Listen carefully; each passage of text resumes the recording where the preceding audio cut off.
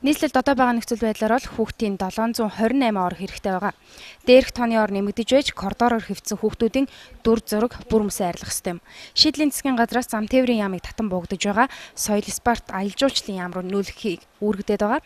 За харин яамныхан өнөөдөр нүүхэд 200 орчим сая төгрөг хэрэгтэй гэсэн тайлбартаагаар нүүхэд дурамчхан байгаа гэсэн хандлагатайгаар улсын хурлаас томилогдсон ажлын хэсгийнхнийг хүлээж авлаа.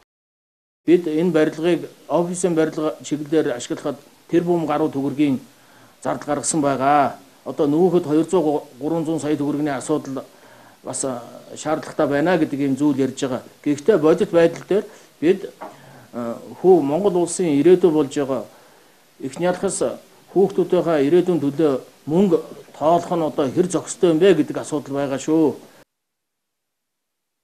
За харин энэ тайлбар эзэн газраас гаргасан шийдвэрийг биелүүлэх нь чухал. Эрүүл мэндийн яамнаас хурдан төсвийн багцаагаа тодруулж энэ 7 хоногт багтаж амжиж улсын төсөвт оруулах хэрэгтэйг шаардсан юм а. Эхний байдлаар 6.2 тэрбум төгрөг шаардлагатай байна. Энэ нь офис байдлаар ашиглагдаж байсан засгийн газрын 13 дугаар байрыг засаж янзлах болоод шаардлагатай тоног төхөөрөмжөд хэрэгтэй мөнгө гинэ. За ерөнхийдөө бол 6.2 тэрбум төгрөгийн тухайд бол орсгол зардал 2.7 тэрбум төгрөг шаардлагатай тоног төхөөрөмжийг бэлтгэхэд 2.7 тэрбум төгрөг. Аа засвар нь 800 ингээд 6.2 болж байгаа.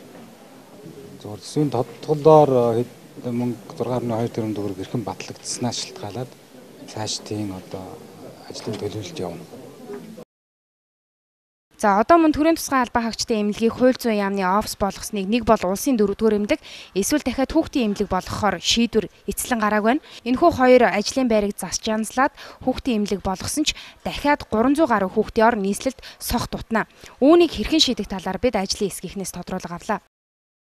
Тэгэд одоо хятадын засгийн газрын сая хятадын ерөнхийлөгч ирээд 90 тэрбум төгрөгийн одоо Монголд тусалцаа үзүүлж байгаа.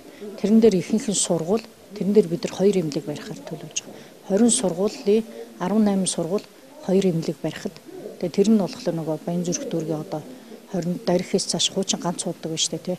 Тэнд нэг шинэ эмнэлэг бас төлөвлөж байгаа.